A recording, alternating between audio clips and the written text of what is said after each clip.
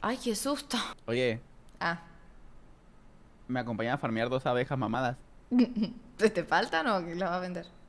Si me faltan dos mamadas y ya está. ¿Hola? O sea, es que está muy difícil el nombre. Algodón de... Me faltan dos algodón de miel. O- o- dos.